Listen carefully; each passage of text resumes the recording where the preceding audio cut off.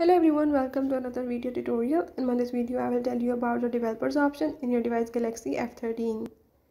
So if in this device Galaxy F13 you want to use the developer option or if you want to enable it, the developers option or developers mode, you can do this by the methods I will show you in this video tutorial.